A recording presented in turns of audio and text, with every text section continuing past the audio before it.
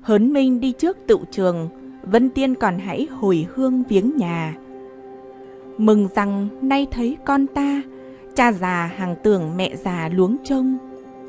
Bấy lâu đèn sách gia công, con đà nên chữ tang bồng cùng trăng Vân Tiên quỷ lại thưa rằng, chẳng hơn người cổ cũng bằng người kim, dám xin cha mẹ an tâm, cho con trả nợ thanh khâm cho rồi.